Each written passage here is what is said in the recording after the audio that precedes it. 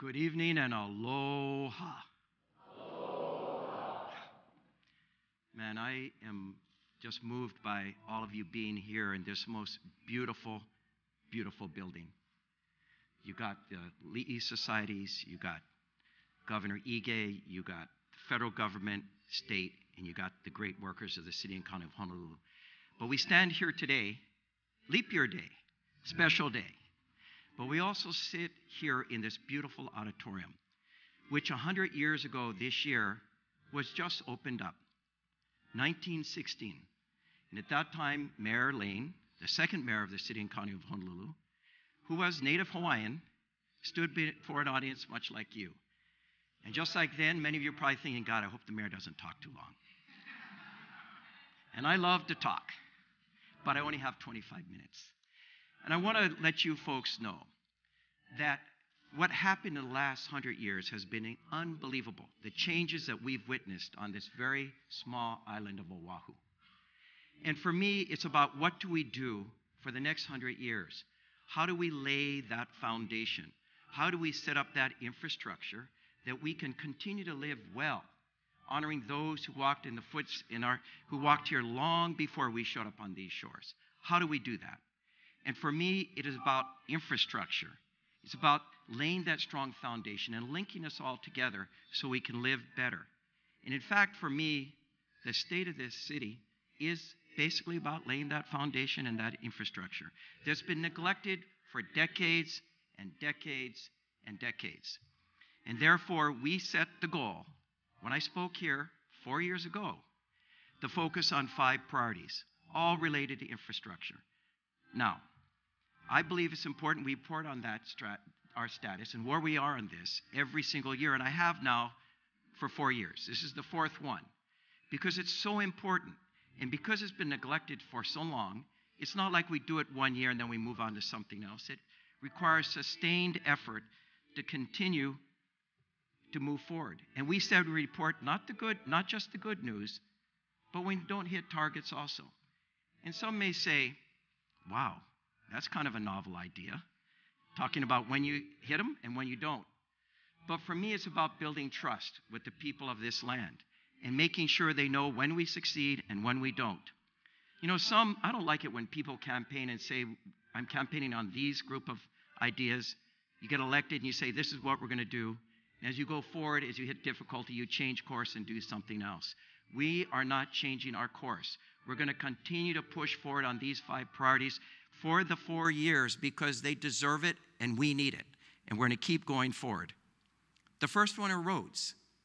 You know, we set the goal of repaving 1,500 lane miles of substandard roads in five years. And we said we could do about 300 lane miles a year. So it'd take five years to do so. But here's the good news we've repaved 1,000 miles already in just three years. And it's through the hard work of the city and county of Honolulu folks.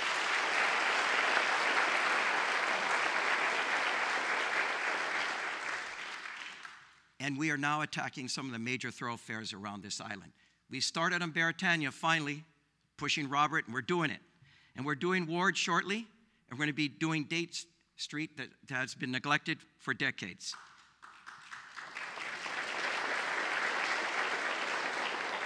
And we're not forgetting about the west side. We're going to be out there in the next couple months, and we're going to be paving 113 lane miles from Makaha, Waianae, and Nanakuli coming into town.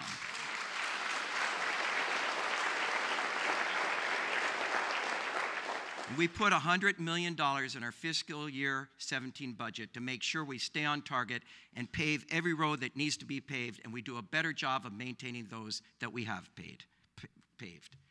On rail, I promised to rail, build rail better. And I'm frustrated by the increasing cost of construction, and I'm upset by the increasing cost of construction. And for me, my reputation is on the line on this project. And I value my reputation. I was born here, I'm going to die here.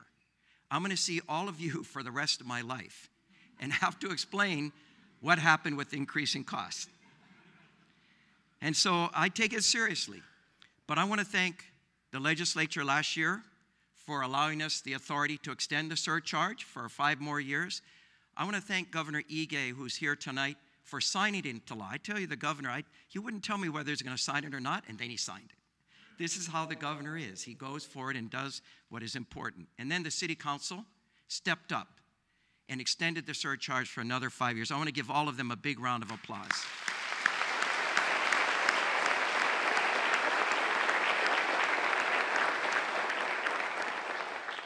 And I'm constantly pushing hard. I meet with them every week and sometimes multiple times a week to take a more aggressive approach to fiscal oversight and construction management. And that's why tonight, before all of you, I'm letting you know that I'm supporting a charter amendment. They're going to be voting on what charter provisions should go forward. A charter amendment that returns HART to the city and county of Honolulu once the system becomes operational because I believe it really deserves the attention of the people of the city and county of Honolulu, which, if it's returned, will happen.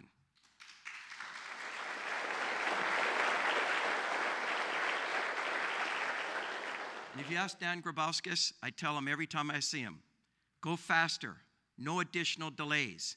We want to finish this thing as quickly as we possibly can because every single month costs continue to go up. And we can't keep doing business in the same way and expect a different result. So I want a more aggressive oversight and greater transparency from HART. Now, there's also a lot of good news to talk about too with HART. We have our challenges, the largest construction project in the history of this place, going right through the dense urban core. But here's the good news this coming March, tomorrow, later in the month, our first train cars are going to arrive on the shores of this island the first driverless train system in the history of the United States. We lead the nation in this way.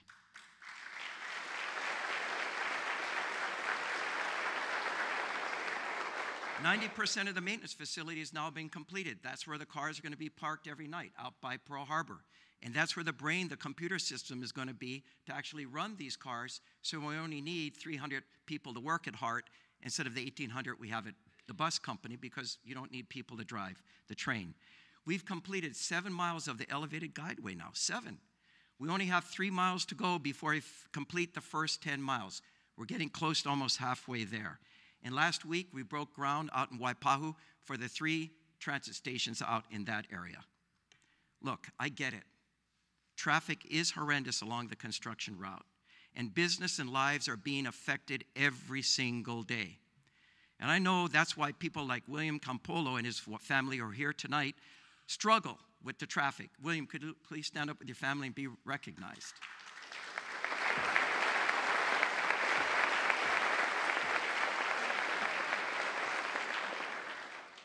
They even brought their little daughter who looks kind of tired, probably because she has to get up early. But William is a Waianae resident, and he needs to wake up at 4 o'clock every morning to get to work in Waikiki stuck in traffic in his car. You know, this is not acceptable. And that's why rail is so important. We do not have another planned highway for the island of Oahu, even on the books. So if tomorrow we could say, let's build another highway, in 25 years after doing the EIS and all the rest, you'd see the result. Rail is the only, only alternative to transportation gridlock that we're building. It gives people a chance, like William, to get out of his car and to travel quickly and more efficiently, no matter what's happening on the ground, so he can get to work. It is critical that we continue to move forward on rail, that we sprint forward to the future instead of just running in place.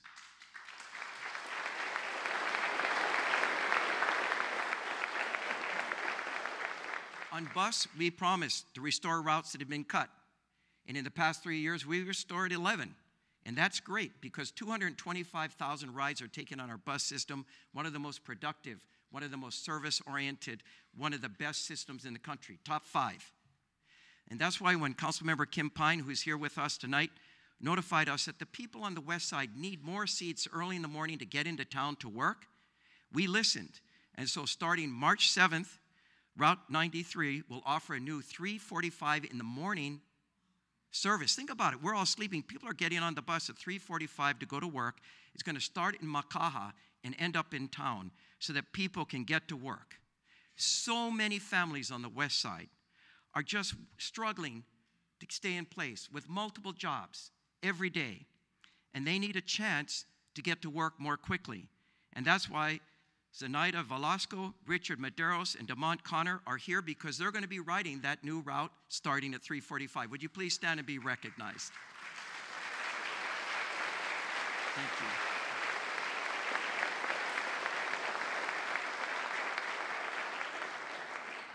These are real people who struggle to live well on this island, and we feel for them. The hardworking people of the West Side that sit in traffic all the time. We're not going to stop. We're going to continue to fight for rail because of people like this. On sewers, not sexy. For the most part, it's underground. You don't even see it when it's going on. But I love sewers. We're working really hard with the federal government to make sure we meet all of our deadlines to rebuild our sewer system. And we're doing some incredible things that you probably don't even know. We put a new force main. This is pumping sewage under pressure. We used a robot micro, micro tunneler to dig a tunnel underneath the mouth of Honolulu Harbor. It's done and connected to Sand Island. I think that's really, really cool.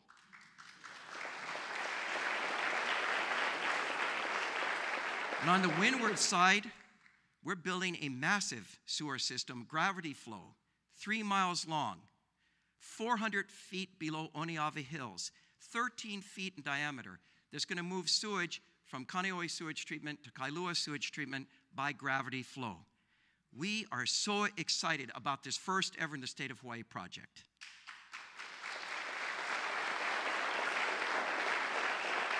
And finally, as you know, when you come into town on Nimitz or you work in any of the high rises around town and you look out at Sand Island, you see this round egg. It looks like a giant emoji. We call it a digester. We love our one digester so much we're building a second. And it's going to be done by this summer. And it is so important because it takes, after we treat our sewage, it becomes sludge, and from the sludge, we turn it into fertilizer. And without a second digester, all the building you see going on in the urban core middle class workforce housing like Marshall Hung's 801 South or Stanford Carr's Halekauwila Place could not go forward. We need this digester to address capacity issues so we can build housing for our families. Finally, in our fiscal year 17 budget, which in CIP is going to be $834 million, that's a lot, really a lot. And of that amount, 490 million, almost half a billion, is for sewers alone. That's up from 213 million last year because we're putting our priorities on rebuilding our sewer system.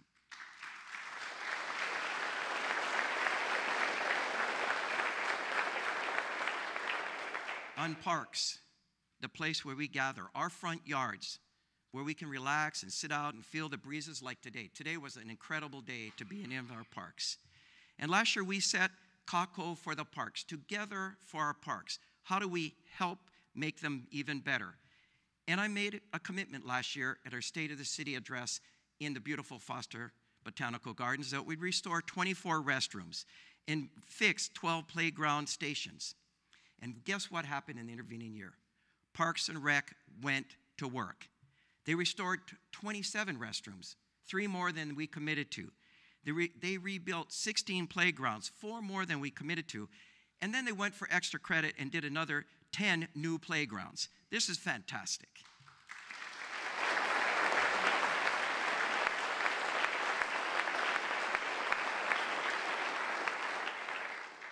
Our Parks and Rec guys are hardworking. They wear blue shirts, they're sweating every day. Seven days a week, they're in our parks. And to help them, we're hiring 20 new groundskeepers and maintenance people because we know we need to do a better job maintaining our parks. We also, in our Kakou for the Parks, asked the community to step up. And so tonight I want to recognize Cedric and Benjamin Gates from Active Hawaii Foundation. Would you please stand up and be recognized?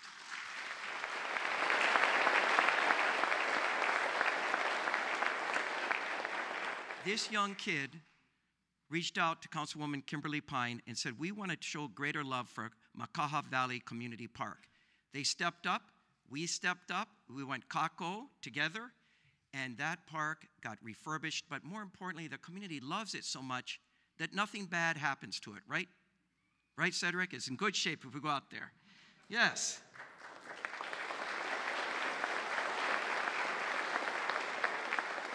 So, in the fiscal year 17 budget, we put $1.4 million so we can continue to restore restrooms and playgrounds. And we put 21.6 million in capital improvements for parks all around this island, our front yards. And we're focusing on two legacy parks, our historic parks. One is Thomas Square, our oldest park in the state of Hawaii. In fact, it's one of the oldest parks in the United States of America. In fact, it's so old that when it became a park, Hawaii wasn't even part of the United States of America. We're committing 1.9 million more dollars to make sure this park continues to live for another 100 years.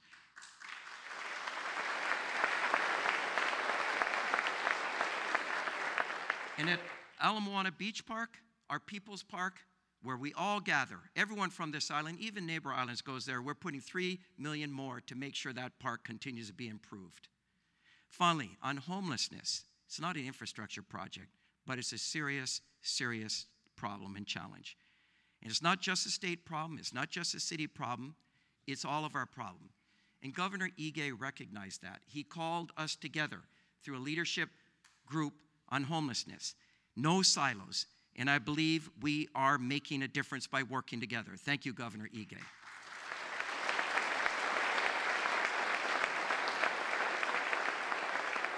we continue to do enforcement. Thomas Square today is much different than Thomas Square three years ago. Inha Park, no tents. You can enjoy the park and be on the sidewalk. And in Waikiki, you can walk down Kalakaua and not trip over people sitting or lying. It, sidewalk is being used for what it's supposed to be used for. But we have compassion here too. We have good news. Partnering up with the Institute of Human Services, we opened the first ever navigation center at Sand Island.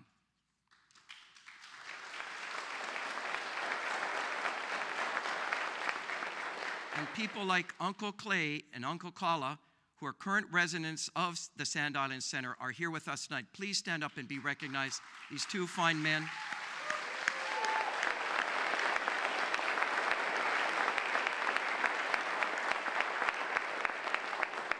I heard them speak to the press and to the staff out at Sand Island. They talked about getting their dignity back. They talked about having hope once again. They talked about being able to close their doors at night and know they were safe. And knowing that when they left during the day and locked the door, they knew their stuff would be there when they came back. They get three square meals a day. They get to use the lua and take a shower in privacy. These are the kind of people we are helping. We need to do much more to help people like Uncle Clay and Uncle Kala.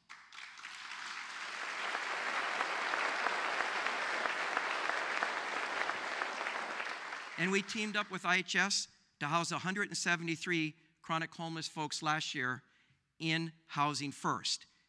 173, and this year we're putting another $6.6 million into the FY17 budget to do even more. That means we're going to house approximately another 173 chronic homeless folks, along with the ones we already housing. We've got to keep housing them for a total of 346 folks. We are making a difference, but this is a long journey that we're just beginning.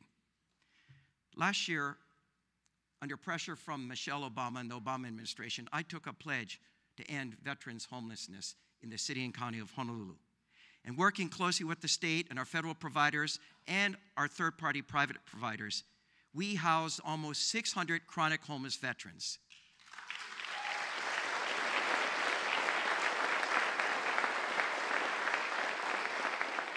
We didn't hit zero.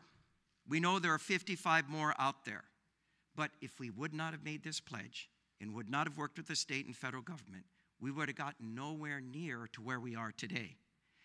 And the governor and I had a landlord summit. We reached out to the landlords saying, Can you provide more units to house these veterans? And Kathy Chalk, a Honolulu landlord, stepped up and said, I'll provide you not just one, I'll give you eight. And tonight she is here with Uncle Joe, an Air Force veteran who's been in and out of homelessness for eight years. He is one of Kathy's tenant we want to ask both of them to stand up and be recognized. Where's Kathy and Uncle Joe?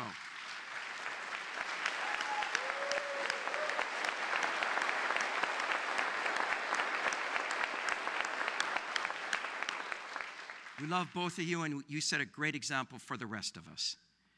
You know, in closing, we've hit targets, we've met goals, and it's been done because of the team effort, no silos, everyone working really, really hard. And when I say everyone, I mean the 9,000 people who work here at the city and county of Honolulu. They work 24 hours a day, seven days a week, dealing with our sewage, our water, our garbage pickup, our parks, everything else in between. And I want to recognize them and give them a big round of applause.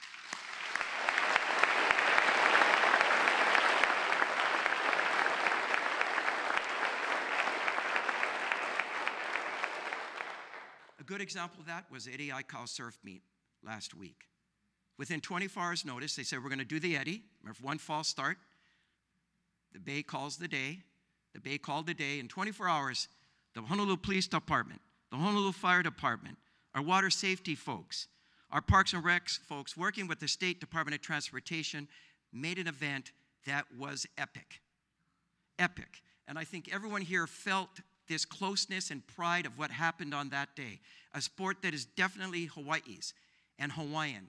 And yet, no matter whether you're Hawaiian or not, we were connected that day. And Clyde Aikau is here tonight. I would like you to stand up and give him a big round of applause. Where's Clyde?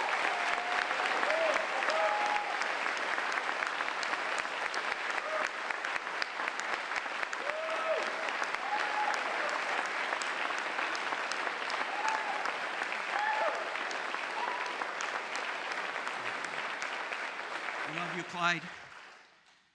You know, Clyde, you may have seen him take that wave, 30 foot face. He went down it. He had a fall. He tore his rotator cuff. He's, that's why he has the, this, this um, ace bandage on right now.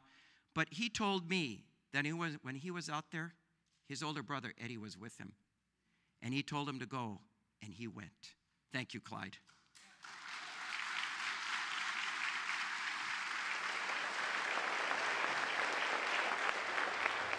Finally, I want to close with this picture. Any of you who have been in my office have seen it. I know Kim Pine has. I know Ron Menor has. I know Brandon Elefante has. Susie, you may have seen it too. It's a picture of John F. Kennedy. It hung in every post office in the land, in many homes around our country, and around the world. This picture was taken in 1960. But what's so special about this picture are the words signed by President Kennedy. And it says, to Senator Dan Inouye with highest esteem and warmest regards from his friend, John Kennedy. Special picture. This was waiting on my counter when I came back from lunch shortly after I became mayor, about a month after the senator had died. It was given to me by his widow, Irene Inouye. When I saw it sitting there like this, I cried. And I'll tell you why. There's a lot going on in this picture. 1960, John F. Kennedy just became president. He was 42 years old, the youngest president in the history of our country.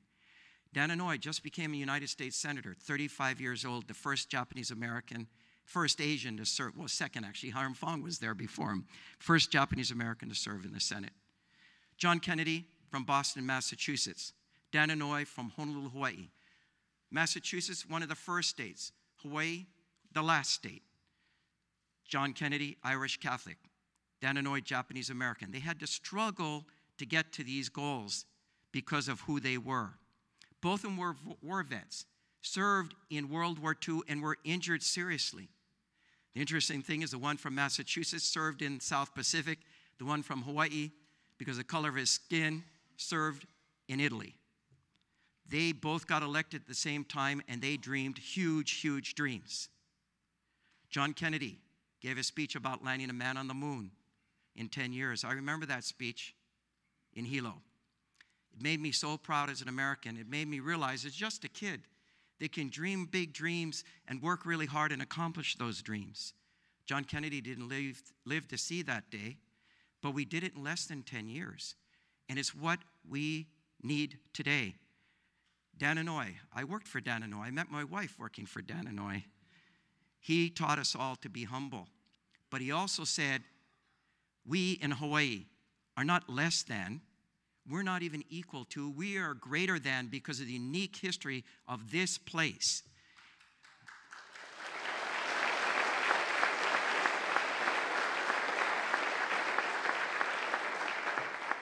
Both of these men dreamed big dreams. They laid a foundation and they inspired us. And I believe tonight, when I talk about priorities, it's about laying that foundation and having those big dreams for those who are not yet here. I can't believe I'm in my fourth year. I mean, it, it's unbelievable. It has flown by so quickly. A couple months. I love every minute of my job. There isn't a day that I don't regret going to work. You can ask my wife, Donna Tanoue, who's sitting here next to the governor. I wake up every morning, usually almost seven days a week, and I sprint out of bed because I like coming to work for all the people of the city and county of Honolulu and tackling the problems that are there. I'm so lucky and I'm so grateful. It's the best public service job you can have. I'm sorry, Governor, I think mine's better. and I believe together we are making a difference. And that's what I'd like to encourage all of you here tonight, just like I encourage our cabinet at the end of every cabinet meeting go out, work hard, move the needle, be better. I want to thank each and every one of you for being here tonight. I want to let you know it's an honor to work for you. I also want to let you know I love each and every one of you. Thank you so much. Mahalo and aloha.